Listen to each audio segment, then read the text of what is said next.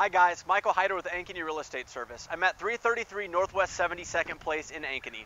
This three bedroom, one bathroom house has a ton of potential, but what you'll really love is the almost four acres of land. The exterior features a covered deck to enjoy your beautiful views of Saylor Creek and the natural wildlife. There's also plenty of green space for recreation, a small outbuilding, and an oversized garage with a wood burning stove. For more information, message or comment below. Thank you.